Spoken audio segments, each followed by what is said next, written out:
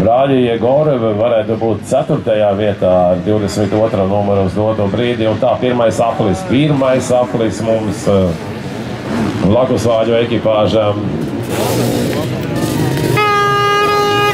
Māris Rubēks. Māris Rubēks, jā, ir vēl viens sākums.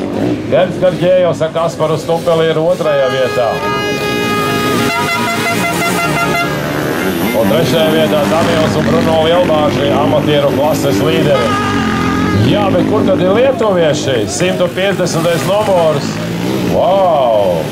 Pirmā brauciena otrās vietas ieguvēja. Lūk, kur ir labs jautājums. Bet pirmā lapja. Tas viss var mainīt trīnieku divu.